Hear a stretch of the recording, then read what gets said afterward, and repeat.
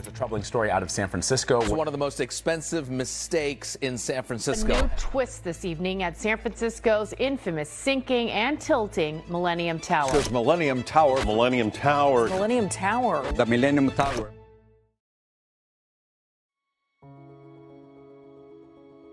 The thing that makes the perimeter pile upgrade unique and remarkable is just the scale and the size of the project.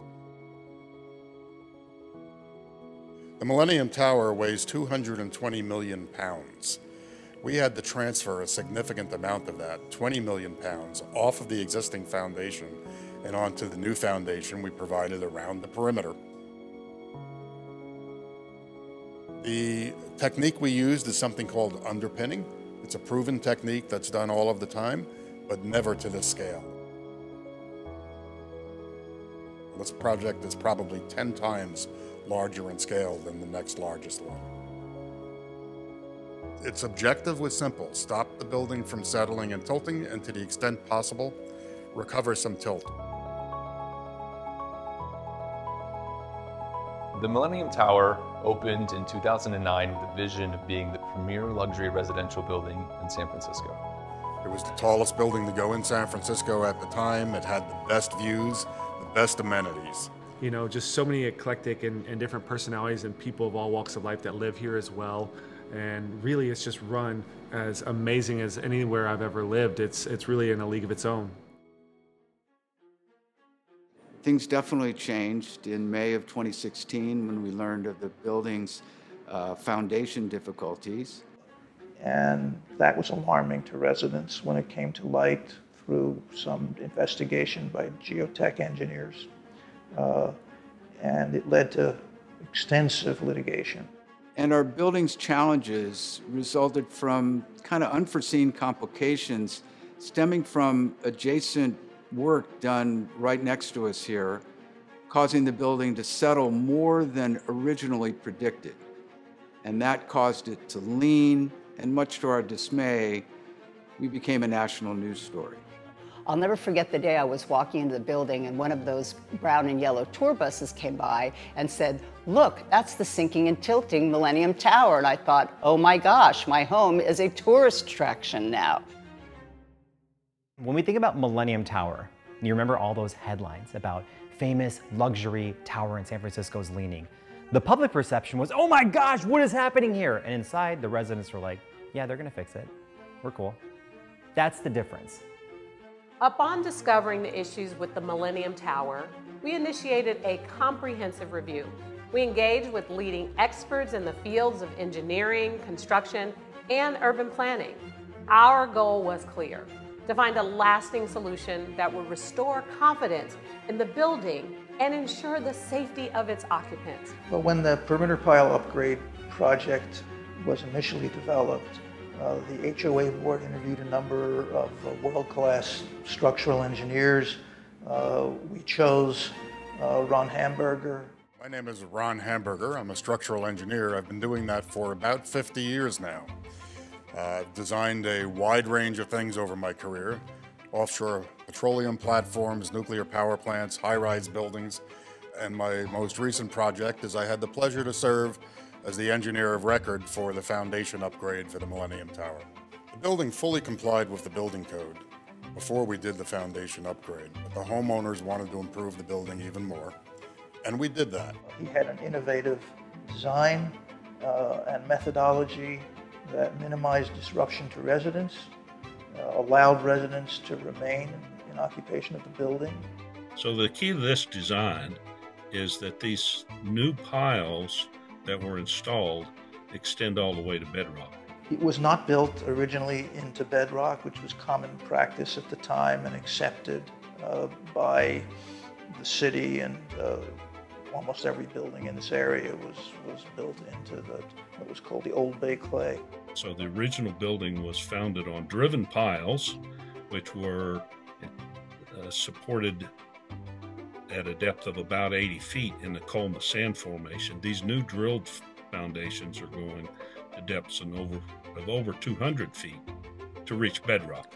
Well, the most innovative part of the project to stop the buildings settling and tilting uh, was to do this only on two sides of the building rather than all around it. Now, I give uh, Ron Hamburger credit for uh, this uh, detail that he came up with in that the new piles that are designed to assist the existing piles, they have built into them limiting restraints so that those piles will only attract a certain share of the load, but not more. The perimeter pile upgrade project is a lot like fixing a flat tire on a car.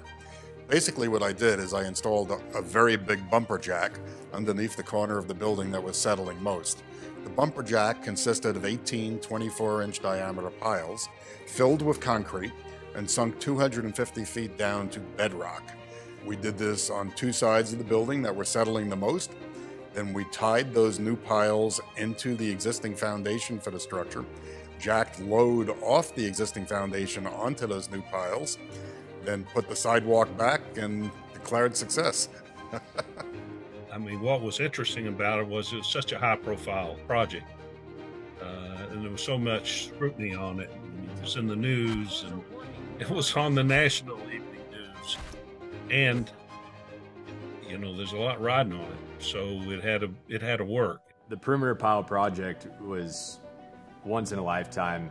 You had the, the sheer scale of the project the actual construction of it. Then you had the, the dream team engineers that you got to work with. And then on top of that, you had the media scrutiny of, of what was going on inside the project.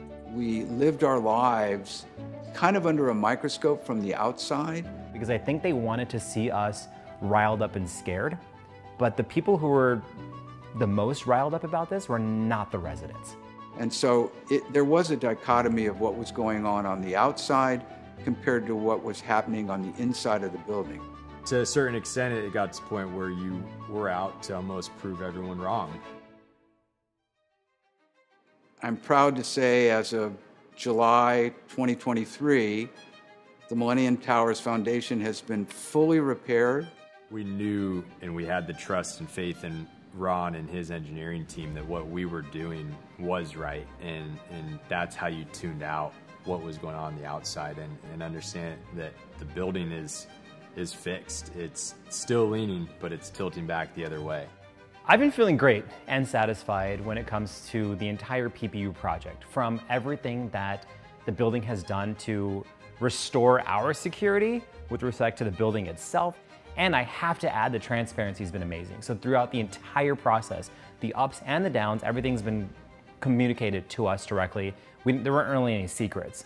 I've never once felt unsafe in the building. And um, even throughout the whole process of repairing the building, I feel like they've done a great job of being transparent about what to expect. So now that it's done, the trees are out, you can walk on the sidewalk, everything's beautiful. It's really great to be able to come home and, and see Millennium Tower in its restored glory, but also to know that we don't have anything to worry about when it comes to the lean.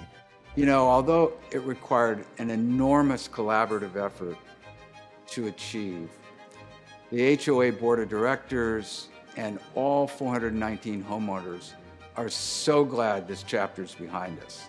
I think everyone was quite relieved um, with the success of this project in terms of we now have over a year of monitoring of the building. We haven't moved at all. We're structurally into bedrock now. We substantially improved the foundation of the building, both to halt the settlement and tilting, which it has done, uh, and also to improve its earthquake resistance. We actually designed the building's retrofit so that the building would be able to survive the worst shaking likely from an earthquake that has a return period of a thousand years uh, and be repairable. I think that provides great comfort to people who are living here, uh, knowing that we have the safest building now in San Francisco. And still waiting to see those articles come out of how great the project actually succeeded in doing what it was supposed to do. Since the PPU project is finished, in my opinion, Millennium Tower is back. With the successful completion of the perimeter pile upgrade, the building is once again the premier address in San Francisco.